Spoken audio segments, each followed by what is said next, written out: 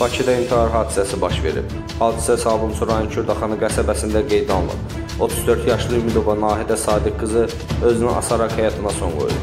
Bildirilib ki, Nahidə Ümidova bir neçə gün əvvəl paytaxtın Sabunçu rayonunda 3 avtomobilin toqquşması nəticəsində ölən Mitsubishi Pajero markalı avtomobilin sürücüsü Fəxri Ümidovun həyat yoldaşıdır. 34 yaşlı Ümidova Nahidə Sadiq qızı səhər saat 4 radələrində özünü yaşadığı evin həyətindəki qaz borsundan asıb. Onun meydini bacısı və qonşusu aşkar edib.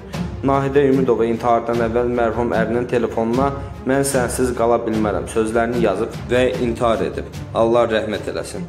Əziz izləyicilər, kanalımıza abunə olaraq videolarımızı bəyənib və paylaşmağı unutmayın.